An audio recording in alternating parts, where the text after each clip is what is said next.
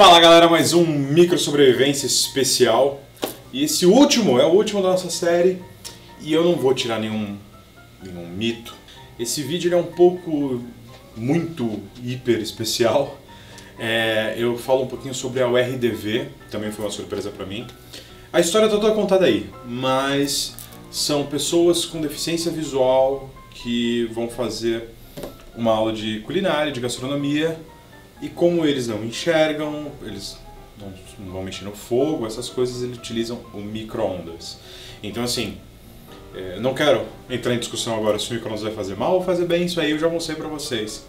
É, se é certo ou se é errado cozinhar com micro-ondas, isso aí eu já mostrei para vocês. Mas esse vídeo, ele foi um, um chamado tapa na cara, sabe? Então, eu quero mostrar um pouquinho para vocês. a Tamires vai falar com a gente. A Tamires entrou em contato comigo pela primeira vez uh, ah, para eu poder conhecer, falando na verdade do que ela faz. E aí eu quis conhecer o, o projeto. Eu fui ano passado lá e esse ano já fui duas vezes. É, é um aprendizado para mim. A didática, a dica, dica que eles dão, é, que eles me deram pelo menos para os meus vídeos. Como eles não enxergam, eu não vou falar, ah, vou pegar uma colher dessa aqui olha, eu vou cortar desta forma, porque eles não estão vendo, eles só vão estar ouvindo. Então, falar mais fácil para eles poderem entender, certo? E outra coisa é deixar a quantidade dos ingredientes embaixo do vídeo, porque o celular deles consegue ler e falar para eles o que está escrito. Então, às vezes pega, às vezes não pega, então é só pegar um pouquinho mais de atenção, prestar atenção nisso aí, que dá para agradar todo mundo, ou quase todo mundo pelo menos. Mas foi uma surpresa saber que os vídeos das receitas que eu faço aqui com o pessoal da LG é, tem esse alcance, né? É, às vezes você fala assim, ah, mas eu vou fazer um macarrão em 10 minutos, aqui eu faço mais rápido. Tudo bem, não tem problema, é uma opção para você. Mas saber que tem pessoas que começaram a cozinhar ou aprenderam a cozinhar graças ao canal foi meio pesado para mim. Eu não, eu não esperava. Então, fica aí. Vou deixar vocês com algumas imagens que eu fiz no dia que eu fui lá conhecer o pessoal, conversar com o pessoal. Tem a Tamires que não trabalha mais na URDV. A Tamires está falando um pouquinho de como que ela chegou até mim. E a Ana, que está me explicando um pouquinho como é que funciona. Então já vou deixar um abraço aqui também para a Sumaya, que é a professora deles lá. A Tamires e a Ana eu já agradeci na hora, mas obrigado novamente. Oi pessoal, meu nome é Tamires, eu sou terapeuta ocupacional e trabalhei por dois anos em uma instituição para reabilitação de deficiente visual. É, a minha maior demanda lá era a culinária, que eles gostariam de ter mais autonomia na cozinha. Porém, a estrutura da instituição não me permitia mexer no fogão. E aí eu fui em busca de uma alternativa e pesquisando no Google, eu achei o canal do Felipe, Micro Sobrevivência.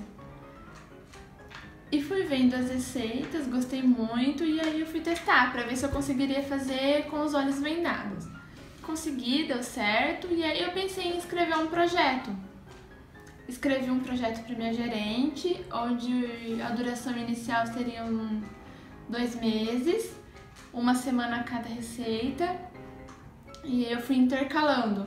Uma semana era receita doce, uma semana era receita salgada. E seriam quatro participantes. Deu super certo. Elas conseguiram fazer todas as receitas. É, da, algumas das meninas até faziam em casa, sozinhas, postavam foto no Face para eu ver de como tinha ficado, me mandavam foto pro WhatsApp, super feliz agradecendo que conseguiram fazer a receita, foi muito gratificante. E elas não queriam parar o grupo, porque eram dois meses e aí ia se encerrar para vir uma turma nova. Só que elas não queriam, elas queriam aprender mais receitas e tudo mais. Eu passei o canal do Felipe para elas. E, e um belo dia eu curti a página do Felipe no Face e ele postou uma reportagem que do G1 que falava sobre o canal, que era o único canal de receita de micro-ondas. E aí eu resolvi comentar na, embaixo dessa reportagem, falar, me apresentei, falar para ele da instituição e desse projeto que eu fiz inspirado no canal dele. Aí ele logo já me respondeu, me chamou em box, a gente começou a conversar e ele quis marcar uma visita para ir até a instituição lá conhecer. Ele foi, conheceu o grupo, as meninas fizeram uma receita para ele, foi uma tarde muito legal. Ele foi super prestativo, passou a tarde toda lá com a gente. E isso animou muito as meninas. E aí então a gente resolveu dar um segundo módulo para esse grupo. Pensamos juntas, eu e as participantes, o que a gente poderia fazer. E aí, como o objetivo principal do grupo era autonomia e independência, a gente pensou em criar um grupo no WhatsApp, é, comigo e com as quatro integrantes.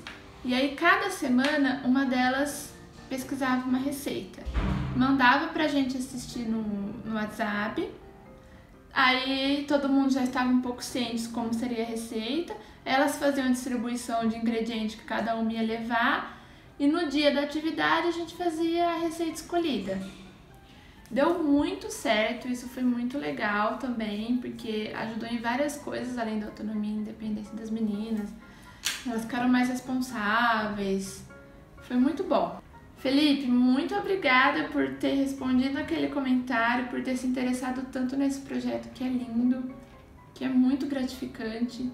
Não tem recompensa maior do que o sorriso dos usuários. E obrigada por ter abraçado essa causa, ido lá conhecer a gente, estar tá sempre presente. E obrigada. A questão do micro-ondas vai facilitar muito né, a nossa vida. Então, quer dizer, coisas que eu fazia no fogo, então eu posso estar fazendo no micro-ondas. Estou muito feliz. Você pode fazer o que você quiser. É, tô... Alguma coisa que você não só vai fazer no, no, no micro-ondas, ou se você não achou lá no canal, pede para a professora falar comigo, a gente dá um jeito, gente faz o prato que você quer. Ana, me explica um pouquinho do que, que é a ONG, uh, como que ela funciona, ou como ela surgiu. Então, assim, a, URDV é um núcleo da Associação Cívica Feminina. A Associação Cívica Feminina ela é mantenedora de quatro é, instituições, que seria o Colégio Olga Ferraz, uhum. a gente tem a creche e o CCA e a URDV. A URDV não tem nenhum financiamento de nenhum nível é, é, municipal, estadual e federal. A gente está tentando pleitear algumas verbas. Nossa. Então, quem nos mantém mesmo é a Associação Cívica Feminina. Tá, tá eles então, que ajudam financeiramente. Isso, eles que, que transferem toda a, a parte financeira para nós. Pra cá, tá. Isso. Hoje, a URDV, ela nós estamos com cerca de 90, 90 alunos matriculados. A gente é, é, totalmente gratuito, a gente não cobra nada, tá? É uma instituição. De nenhum aluno? De nenhum aluno. A gente tá. recebe doações voluntárias, mas isso é, é a partir deles, se, tiver, se eles querem doar ou não, mas isso não nada obrigatório. O que significa o RDV? Unidade para Reabilitação de Deficientes Visuais. Tá. E, e daí a gente hoje conta com aulas de inglês, francês, xadrez e yoga, que tem essa parte de voluntariados, e daí a gente tem os, os profissionais que são contratados, que são psicólogo, professor de orientação à mobilidade, professor de educação física, é, braille e informática, isso é Sorobama. Vocês ensinam braille? Sim, a gente tem. Daí a escola funciona de segunda a sexta, das 8 às 5 da tarde. A gente tem aula em todos os períodos, né? É, e daí quem tem interesse pode chegar na, na, na escola, portando RG, CPF, comprovante de residência, um laudo falando da deficiência oftalmológica e a gente já pede um laudo para aptidão física, para fazer educação física. É, eu, eu, vi lá que tem, tem níveis né, de, cada aluno. Tem um aluno que não enxerga absolutamente nada, Isso. tem um que é só vulto. Isso muda alguma coisa em relação aos cursos que eles vão fazer aqui? Não, não, não, não, A gente tem alunos. Tem informática também lá isso. em cima. A gente tem alunos de baixa visão e perda total. Uhum. Mas isso não diferencia em nada dos do nossos cursos. Entendi. A gente tem até turmas mescladas, não tem problema não. Ana, me tira uma dúvida assim, é, por que que eles cozinham no micro-ondas e não no fogão. Eu vi que vocês têm um fogão industrial gigante lá, lá dentro. Sim. Por que, que eles fazem no micro-ondas? É, que se perguntou até no começo. E daí, é, o que a, a escola busca em nosso trabalho é a independência dos nossos alunos, né? Quanto mais inserir eles no meio social, der maior independência para que eles vivam sozinhos, é esse o nosso objetivo, né? Enquanto escola. E daí, sempre tem essa questão da alimentação. Como um deficiente visual é, vive sozinho, né? Tem- faz as suas coisas sozinhos. E daí partiu da terapeuta ocupacional, né? Que a gente tinha, trabalhar, que é uma AVD, trabalhar a questão da autonomia na parte da alimentação. É, como ainda é muito complicado essa questão do fogo, né, de não se queimar, claro que existem técnicas que a gente possa auxiliar os deficientes a estar mexendo, manipulando o fogão, só que a gente não tem equipamentos adequados aqui, esse fogão que a gente tem não é adequado para a nossa população, a gente adaptou para o micro-ondas, é um meio mais seguro e a gente busca a autonomia deles e a gente pensou nesse projeto então de da culinária. E daí ela começou a buscar na internet receitas para estar fazendo com eles, tudo. E é muito interessante porque é, quando a gente pensa na deficiência visual, a gente muitas vezes não pensa que eles nunca viram aquilo, que eles nunca tocaram um sal, um cho- achocolatado pra gente que é vidente, ou para quem já enxergou e, e perdeu a visão, tem noção do que é isso. Mas para quem nunca enxergou, nasceu deficiente, não tem às vezes noção do que é isso. Então o toque num ovo, num pó, a quantidade é muito difícil para eles, é muito novo. Então a gente tem que começar esse treino desde mostrar o que é uma colher, o que é uma pitada. Uma pitada pra gente que é vidente é normal. Mas para quem nunca viu, não sabe o que é uma pitada. O que é um ovo? Tocar numa casca de um ovo que é super sensível. A gente fala um ovo normal, a gente já imagina, e eles nunca viram. Então, essa coisa do toque, do estímulo tátil, de ter a percepção de quantidade, de texturas. Então, esse trabalho iniciou-se bem antes, para depois estar vindo para a culinária. E mesmo assim, é surpreendente, porque cada receita, cada grupo é uma descoberta nova para eles, né? Eles Quando eu vim a visitar instituição. a Catamisa do ano passado, os alunos fizeram um pavê para mim. Ai, que legal. né? Então eu falei, não, eu, eu não sei qual que é a didática, eu não sei como que eu tenho que interagir com comida e, e com vocês. Eu quero só assistir. Hoje eu já voltei e falei, não, vamos cozinhar, vamos brincar um pouquinho, conseguir brincar melhor com eles. E é o que eu falei no final da aula também. É, eu aprendi muito mais do que eles. Porque eu aprendi a, até como, como fazer meus vídeos de uma forma diferente para eles. Os acompanhantes estimulam eles fazerem em casa, então tem da própria família isso, né? Como não mexe com fogão é uma coisa mais segura, então até a família se sente mais segura em deixá-los a fazer, então tem um feedback super positivos, eles adoram o curso de É, culinária, é, agora que muito tocou o interfone, são os alunos chegando, eles vêm Isso. direto, sozinhos, com a Isso. bengala, já sabem onde que é, entra. já.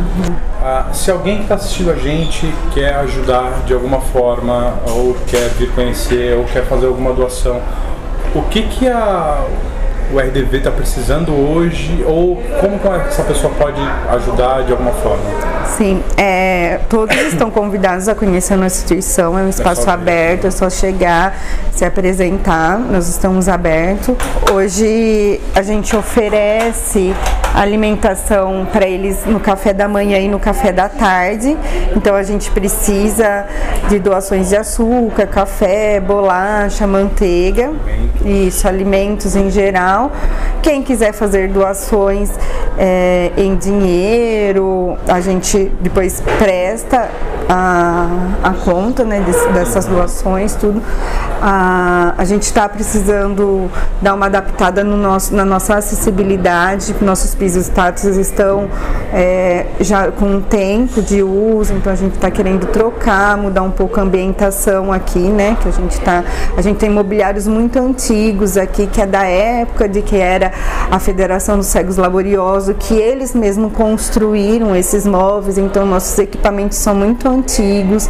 Então, assim, devagar a gente está querendo é, ir trocando, dando uma melhor qualidade para Tem algum eles. contato tudo. que a gente pode deixar? Sim. A gente deixa pra, no vídeo aqui. O nosso telefone é 3874-3800 no ram... 11.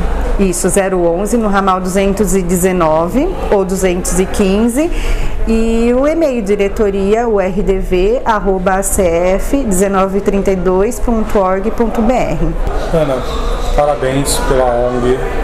Obrigado pelo convite. A gente que agradece, é muito construtiva a sua presença aqui. Você viu o retorno deles, acho que é muito gratificante. Sim. Pessoas de fora vêm. E é isso, a gente precisa trazer e a gente precisa levá-los nos espaços, né? do quanto os vídeos é, alcançavam, assim. É, Eu vim a primeira vez, fiquei muito emocionado quando eu vi. E aí eu vou parar de falar que senão eu vou ficar de novo. E obrigado. A hora que vocês precisarem, eu tô aqui. A gente que agradece. Obrigado, Obrigada a você. Como esse é o último vídeo da série, também quero agradecer a LG que esteve comigo esse tempo todo. Agradecer a Vanessa, ao pessoal da LG, a Kate, a Tânia, a to to- todas as meninas que me tratam super bem lá. Essa série foi com, com carinho, eu precisava fazer isso para mostrar que o micro-ondas não, não é esse bicho de sete cabeças.